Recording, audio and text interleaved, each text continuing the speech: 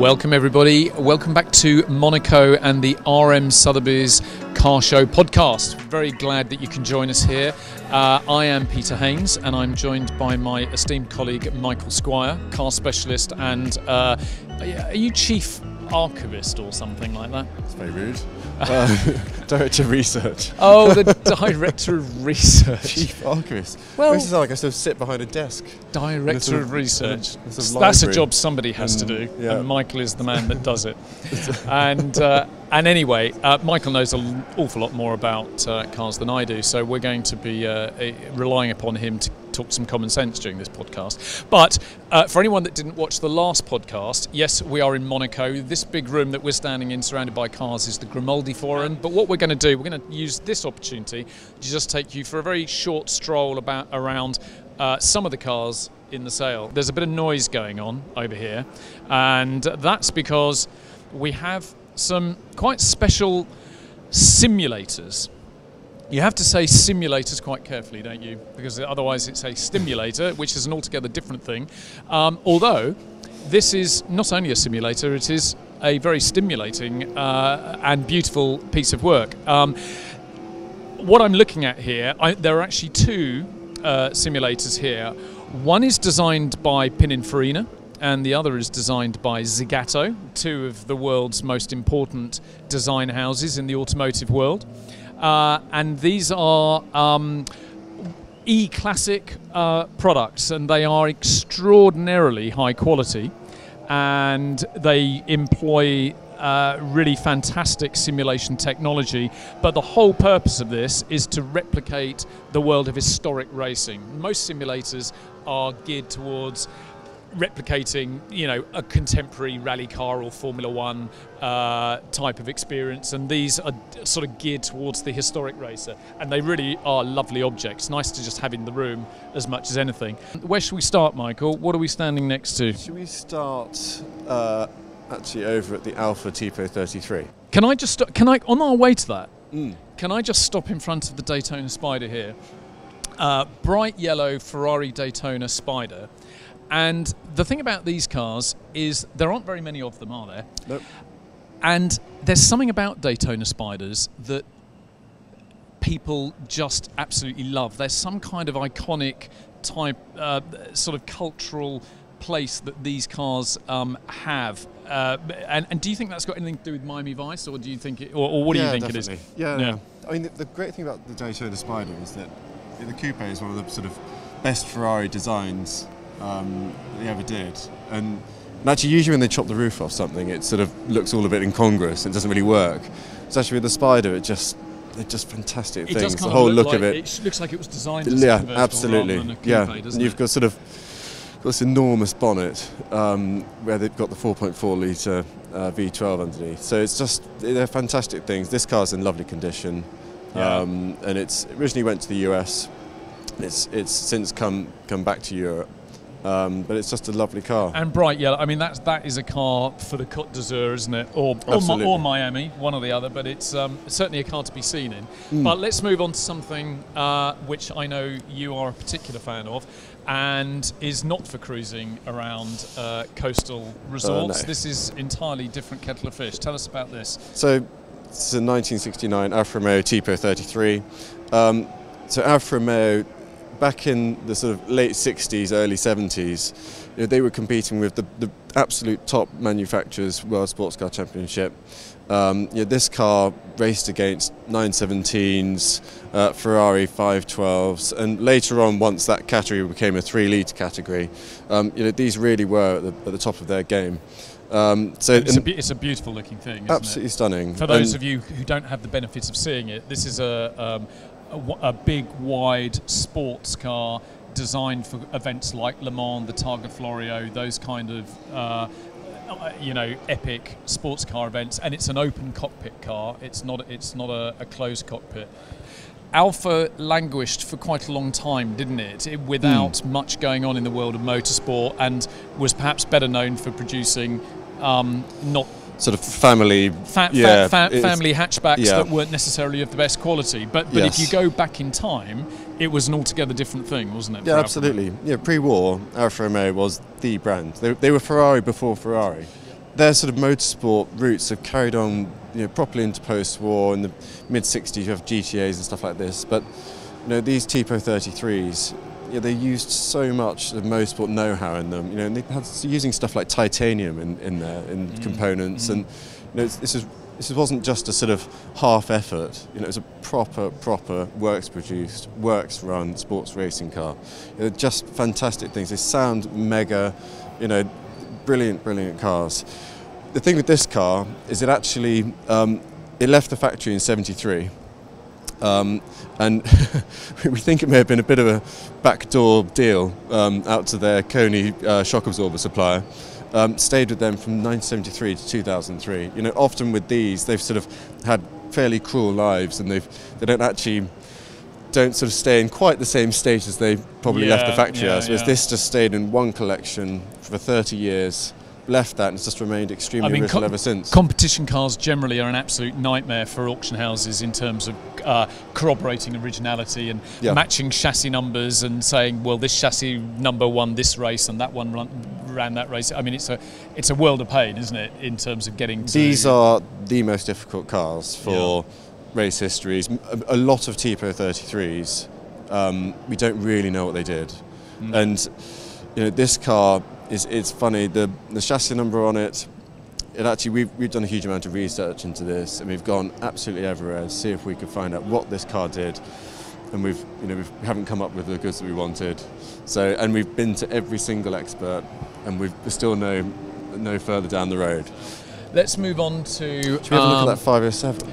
I think yes. Yeah. We're, let's go and talk about the BMW 507. The BMW 507 is a car which really followed on, I suppose, from the pre-war BMW 328 in terms of them having a, a, an open roadster, which was beautifully styled and something which was, um, you know, really a really desirable early post-war uh, sports car that people could um, really covet ownership of, and they weren't produced in huge numbers.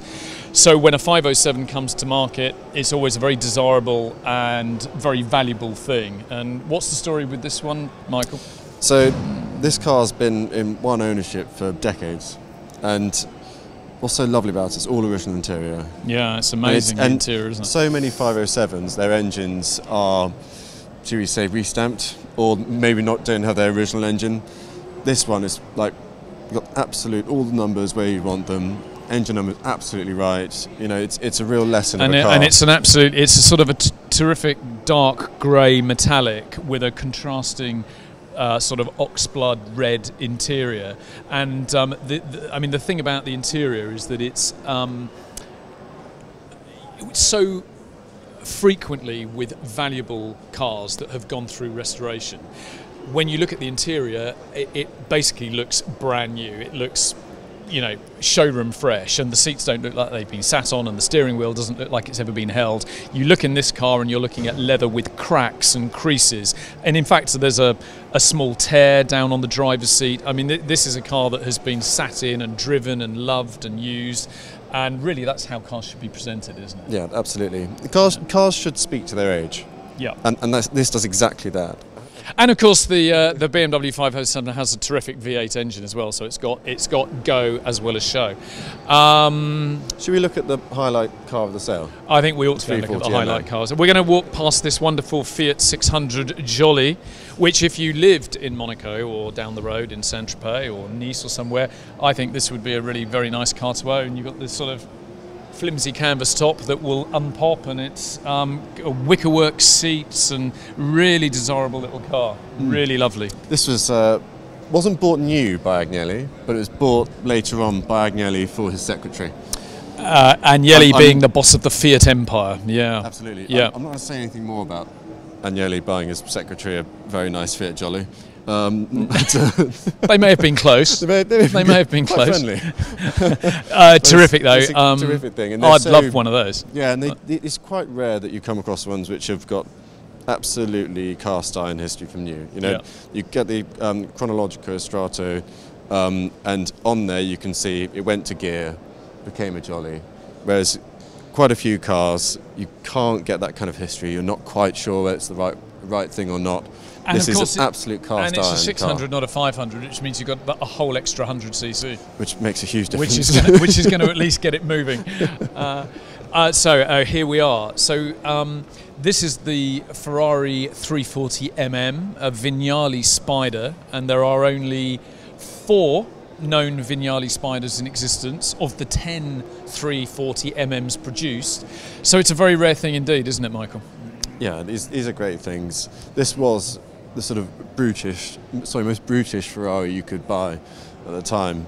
Um, comes with its original engine on the side, has a really interesting engine installed in it, a really early 340 engine. And uh, but the rest of the car, body's entirely original. It's been, it was with uh, one very, very well known and uh, well regarded collection in America for a long time.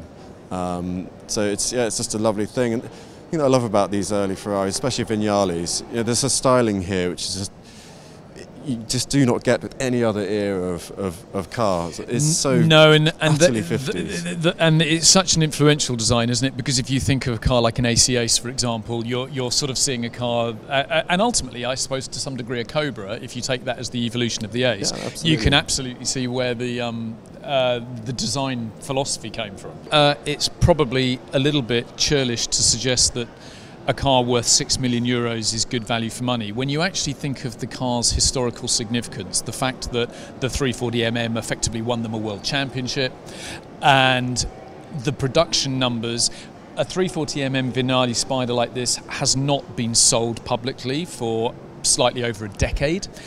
So this is sort of a once in a generation opportunity, isn't it, to acquire a car like this because there are so few of them and they come to market so rarely. So actually, even in the context of, you know, by anyone's standard, six million euros is a lot of money.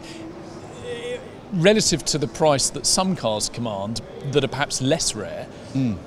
it's not a bad buy, is it? No. So moving on from the Ferrari 340, we have this uh, beautiful uh, Renault 5 rally car, um, the classic uh, 80s mid-engined layout uh, that we also love. So the, the lovely thing about Renault 5s is that they really bridge the gap between the Group 4 era and the Group B era. Ran in the Tour de France, did Tour de Corse as well. Um, yeah, the, for me, the Tour de France really was like the event. It's the proper endurance event. It wasn't just yet another rally.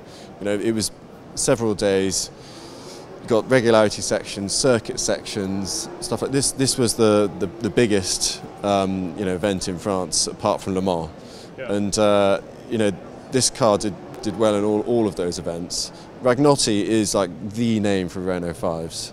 Um, there's, there's no other driver who's it's a bit like Munari with with Stratoses and and Darniche.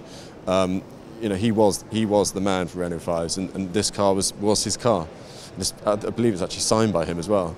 And another cool thing about this is uh, it's a Turbo 1. You know, you've got some of the sort of features on the dash and stuff like that, which makes, I don't know, for me, I mean, I love Renault 5 turbos, but it's the Turbo 1 that really is the yeah, that's, that's, the sort of the original with the sort yeah. of quirky, more quirky features in them. Yeah, no, so, I yeah, it's a, it's a really special thing. This.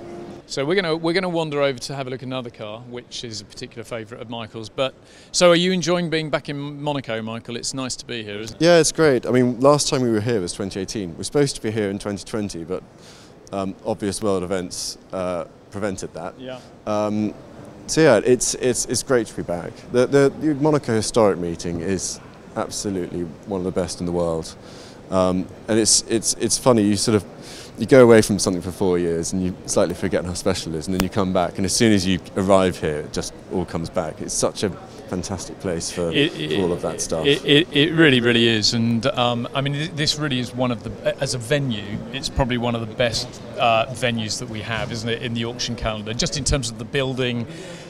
The where we are, the, the, yeah. where we are, the amount of space we have, um, it, it really does tickle. we're, the. We're literally a two-minute walk from Portier Corner on the circuit. So it's yep. you know can't get yep. much closer. And we'll we'll soon be hearing the uh, the cars on track, won't we, when they're out yep. doing their thing. So this is a 1965 Iso A3C. The really nice thing about this car is that we think it's the last completely unrestored car. It's been resprayed in its life. Um, it was delivered new as champagne. You can actually see the original colour in the door shuts. It's, it's a lovely colour. Um, but the entire interior is original. Yeah, it's exactly as it's produced. And Isos suffer from being, should we say, recreated a bit. Um, there's a few cars which unfortunately have been invented. Um, this car is just undeniably original. Yeah. Um, there's about seven or eight cars which with their um, with a flat rear window. And the significance of that, that was the earliest design. A lot of the early competition cars um, had that, and this whole sort of look with the sort of ducts there and the gills. Mm-hmm. Mm-hmm. So it's yeah, it's a it's a hugely significant and special car, and I just hope that whoever buys it, you know, yes, the old paint is lovely, but actually, this should be champagne again, and they just need to leave the interior exactly as it is, and just don't, yeah. you know, and then it's a perfect preservation class car. We have an absolutely wonderful example of a Miura here. Um, for those of you who don't have the advantage of seeing it, it is um, classically finished in uh, in red with the gold running along the sills and the gold wheels. It's it's sort of quite an iconic um, livery for a Miura. Uh, so what can you tell us about this, Michael? So this is a really significant car. First car produced for the US. Its, its US homologation was, was a slightly um, may have been a little bit of corruption in there. Um, they, they, should have done about 50,000 miles for the emissions test, and it appears that they probably did about 1,000. Um, so you read into that what you will. Um, but it's a hugely significant car, being the, the, first one in. You know, for, for me, so I'm fortunate enough that my family had an SV for best part of a decade um, and sadly no longer. Um, so every time I see one, I sort of feel hugely jealous of whoever's going to, whoever owns it or whoever's going to end up with it. But this thing, you know, all the when you look at it, all of the sort of panels you can tell are absolutely right. It's uh, it's, it's never had an issue. You know, so many Miuras do. You know, they have a bit of a penchant for um, setting fire. Um, and they, well, it's Italian, also, it? Let's face it. And they also have. I had, a, Fiat, I had a Fiat X1/9 once. I know what all that's about. Yeah. I mean, very comparable car in many respects. Yeah, very. Yes, yeah, sort of. Um, so yeah, it's it's they're not the easiest to handle. Um, their gearbox is difficult. The clutches are heavy, but there's so much that is right about them. The steering is lovely. The brakes are fantastic, and the engine is just magnificent. And the sort of enjoyment that you have driving them it's, it's one of the few cars where that's not actually the primary reason why you own one. You know, it's, a, it's an absolute work of art. Yeah, it, it, it is. It, it is a beautiful car to go, and for the, and for the, perhaps the less geeky listeners uh, to this podcast, uh, the, the, the place that the Miura has in cultural history is, of course, it was the car that uh, you saw um, early on in the Italian Job in the movie uh, of um, a very suave-looking Italian guy in sunglasses driving up uh, a twisting alpine uh, road only to drive it into a tunnel and hit a JCB or a digger at least, and uh, uh, and the thing explodes and gets shoved unceremoniously off the side of a cliff. And uh, so, for anyone that doesn't necessarily know what a Lamborghini Miura is, it is the car that exploded in the Italian job, which uh, is, in its own right makes them very cool, don't you think? Not not all of them ended up crashing crashing into a JCB. Um, well, m- yeah. maybe it didn't crash into a JCB. Had, Perhaps it just in fact caught fire. Yes, but they had they famous owners. You know, Miles Davis owned owned one. Um, Rod Stewart had a couple. Rod Stewart, I think, he had at least three. Did he? Yep. And uh, there's a few dictators that had one. Um, Papa Doc. Uh, lovely man, um, and uh, yeah, so they, they were delivered all over the world, Australia, Singapore, Venezuela, places like that. So, they, you know, it's an exotic car, not just in sort of the way it was designed, but actually who it ended up with. Um, yeah, so yeah, yeah. just culturally hugely significant, and, and, and, really, you know, put Lamborghini on the map, didn't it? Because b- because prior to that, Lamborghini started out making tractors. Um, nothing wrong with that. Porsche have made a few tractors as well, but um, you know, this was the car. Once they got into sports car production, they made some really very lovely cars prior to the Miura, but the Miura was a bit of a game changer for them, and I think it really got uh, Enzo Ferrari very worried. So that uh, concludes our little walk around of the Monaco sale cars. So thank you for joining us. We're going to take a short break, but we're going to be back very soon with um, ex supermodel Jodie Kidd, who's uh, well known for being a car lover, and she's out here in Monaco doing various things. And we're going to find out where her love of cars started. So uh, we'll be back shortly.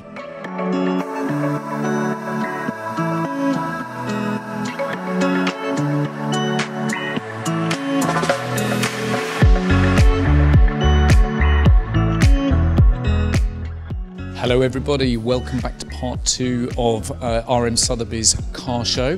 Uh, we're in Monaco, and in fact, uh, a little bit earlier, it was preview time. Uh, what you might be able, you probably can't hear it actually, but through those doors there, the sale is actually going on. So we've actually had to move out of the room because if we were in there, it would be rather noisy. But um, I have managed to uh, grab for a few minutes Jodie Kidd. Very lucky to have her here, uh, model and car enthusiast. So um, Jodie, thank you for giving us 10 minutes of your time. Absolute pleasure.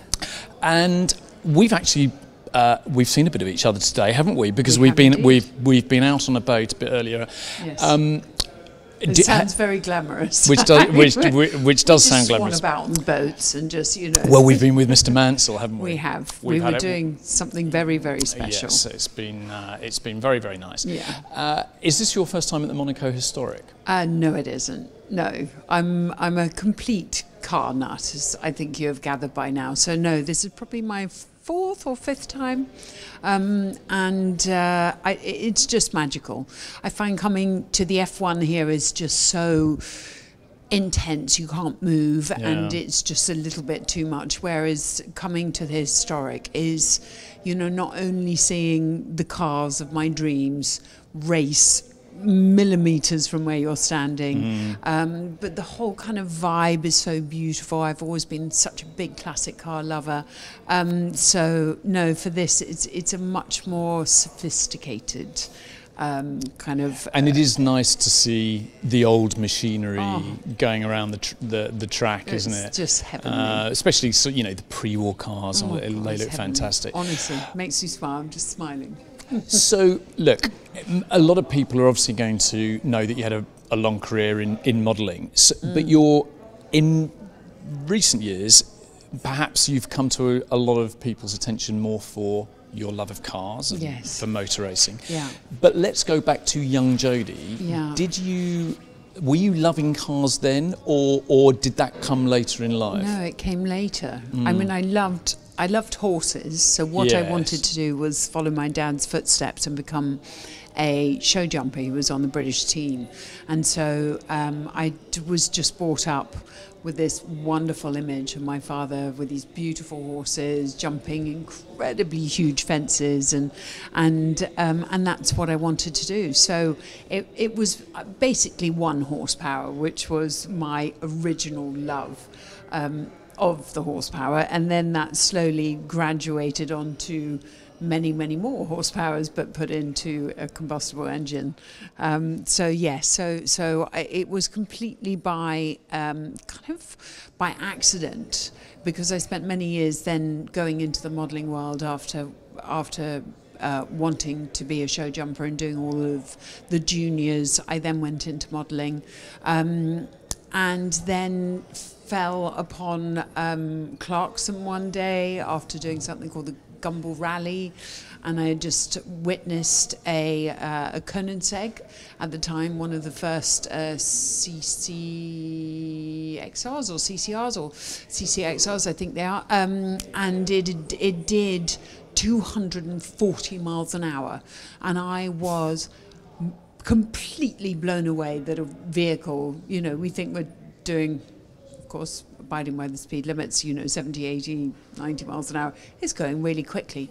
I mean, let alone doing 240. So I was blown away. I came back to the UK. I had to give an award at the um, at the GQ Awards, and I sat on the table next to Clarkson. And so I said, "You're the car guy."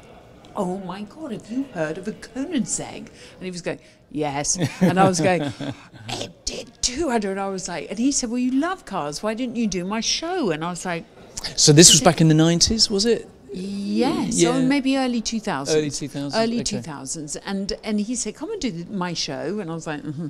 models don't normally kind of watch Top Gear. Um, and um, and anyway, so I got an invite. I went down, never raced a car on a track, went round the track with the Stig, then did the the, re- the reasonably, the, priced, the re- reasonably priced car. Yes, exactly.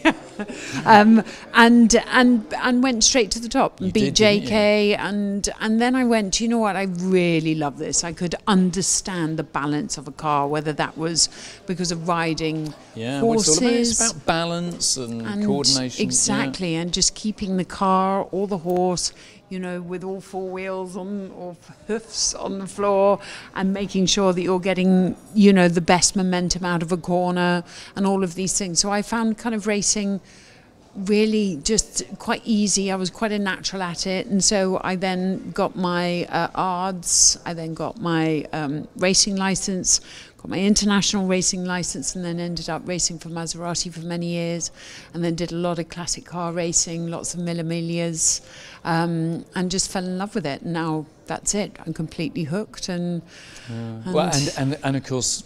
You, I mean, I do a little bit of racing, and what you do realise it's a mugs game, isn't it? Totally. It's brilliant fun. Yes, I'm very good at racing other people's cars.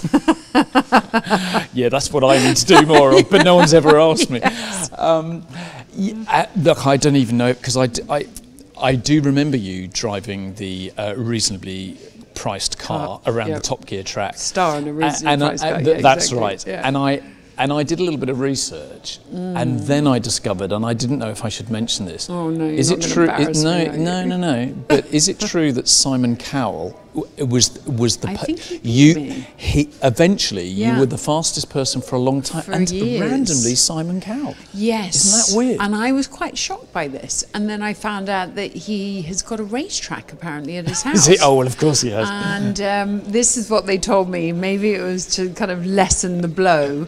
Um, he does like cars. I but know yes, he likes cars. no. Apparently he's got a racetrack and he he has go karts and he has and he you know he's quite. Mm he, he, he liked speed, but I think when he went on the show, there was a lot of practicing. This is what I'm saying.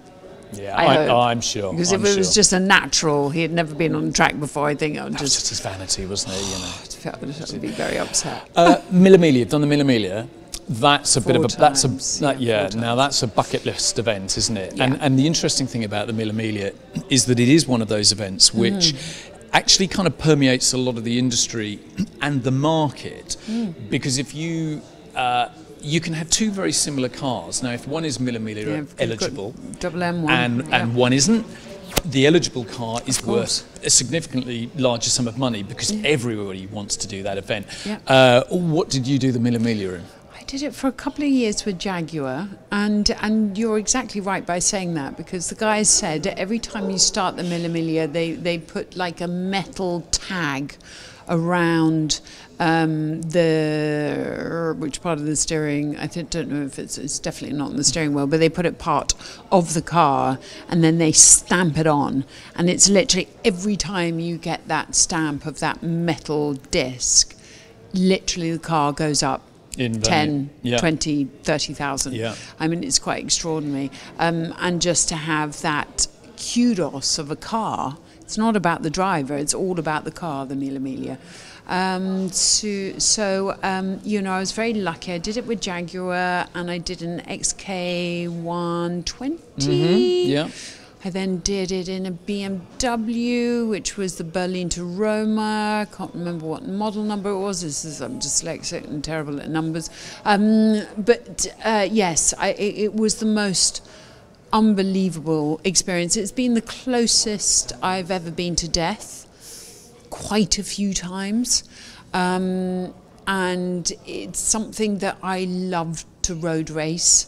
And it's, I think it's where I'm the most natural rather than you know kind of doing uh, track, S- track, yeah, stuff, circuit yeah. racing. And it, and, um, it, and and the, the the thing about the Mille Miglia and what makes it an amazing experience is, is all the crowds in the street, isn't it, and the waving, and, and everybody loves it because it, the Italians they're so passionate. The roads are open, so Yeah. you know there's a lot of variables going on. You know you really have to be on it. You have to be literally watching everything, which is something that my brain kind of like likes to go to that level. But you know, you are literally driving on roads with families going to schools and things like this, which in some way is complete madness yeah. when you're driving these 1940 cars with drum brakes and you know the no seat seatbelt and you've got normal people going about yeah, you. You can't really imagine this happening in the Cotswolds, can no, you? No, I think it's pretty much the only place you can do it is in Italy. But you know, the way your brain then computes things. And actually, I was listening to an amazing interview with Nigel Mansell because we're here because he's selling his um, his two cars. We've got the Red Five and we've got his uh, his Ferrari here and a few other cars. Um, and and he was saying that an F1 driver at 150 miles an hour actually they their brain recomputes things down to a normal person's brain that we would be thinking 40 miles an hour, but they're doing it 150 miles an hour. And it's the one way that I suddenly went, you know what, I kind of get it. Not that I'm a Formula One driver by any means, but that that you have to really equate things very, very quickly.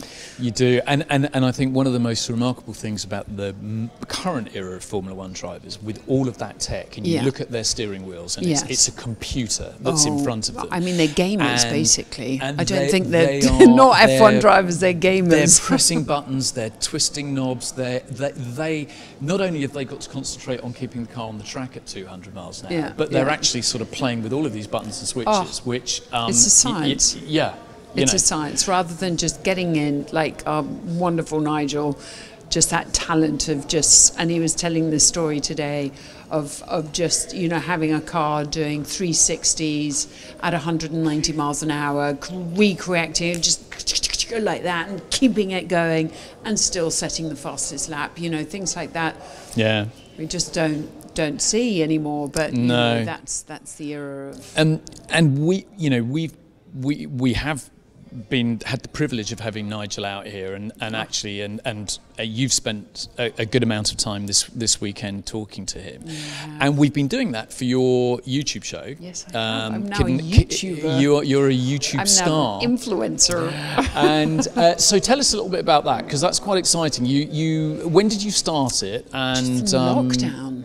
In lockdown? Yeah, in lockdown. It was literally um, because I think we were all at home for so long, and I pretty much exhausted the whole of Netflix and yeah. Amazon and Had you Disney decorated? You'd done everything? Everything else. I mean, honestly, there was just nothing else for me to watch. and then I kind of went into this wonderful world of YouTube, and I started um, because of my love of cars, looking at all the car YouTube people out there, and you know they were all reviewers. There was every single person was either showing some ridiculous car in Dubai that was like, oh, press this and press that, you know, or everyone reviews.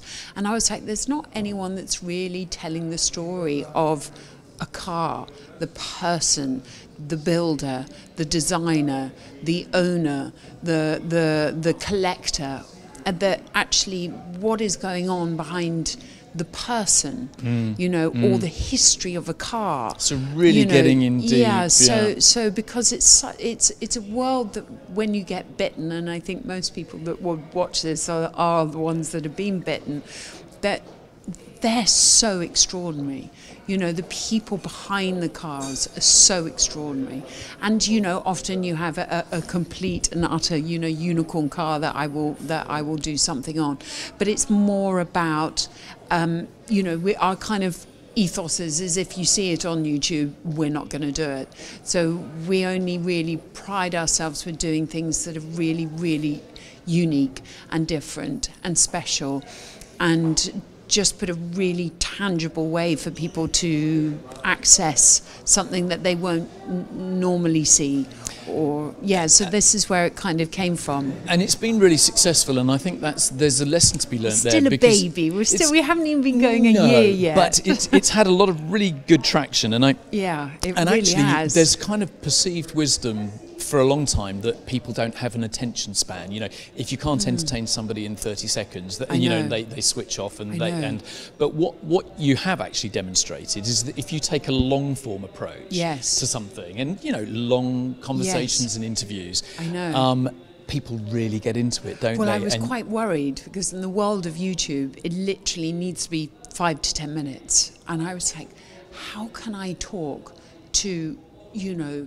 to Zak Brown about his incredible, you know, private car collection that we had one of our first videos with yeah, 15,000 subscribers or something. We got over a million views, but I was like, I'm not doing it justice. So we kind of went out there just going, okay, we're going to push a 30 minute video and just see what happens. And actually, the feedback and the people that have said that have watched it just saying that was the most amazing, quickest 30 minutes they've ever had of that. Yeah. So, it, so it's kind of, I think, bridging you know, your TV terrestrial shows to your very quick, short, sharp, snappy YouTube shows. It's kind of filling in this gap that I don't think anyone's filled in before that, that I hope is really informative. It's really down to earth. It's really natural. It's very relaxed. But and I hope people that I interview feel the same, which I think they do. So it's kind of like just giving access to the people watching mm. and to mm. the fans mm. of Kidd in a Sweet Shop and subscribers and I love you all and thank you because they're amazing. Um, this kind of access that that you know we don't normally ever get to see. No, it's, it's fantastic, and and um, I've really I've watched quite a few of them, and they've all been brilliant, oh, and um, and I think you've done some you've been able to do some great stuff out here as well, out, yeah. out in Monaco. So that's wait. something that's something for everyone know, to look forward coming, to. It's coming, coming, it's soon, coming. coming soon. yeah. um, but thank you very much. I know you've Pleasure. you've got a busy schedule, so thank you for giving us a few minutes of your time. lots are going to be coming up soon, so we need to be. Yeah, we probably do. On, are we on Lewis? This no, is Lewis's motorbike. Yeah, we're on a motorbike. Yeah, they are going to be coming Lewis's. up soon. So we probably need we probably need, yeah, we, we need to get in there. We do. We do need to get in okay. there. So thank you everyone for joining us for another RM Sotheby's car show. It's been uh, really good having you here. Thank you to Jodie, and we're now going to say goodbye, and we're going to go into the auction room to see what happens. And I shall see you in the next episode. Thank you.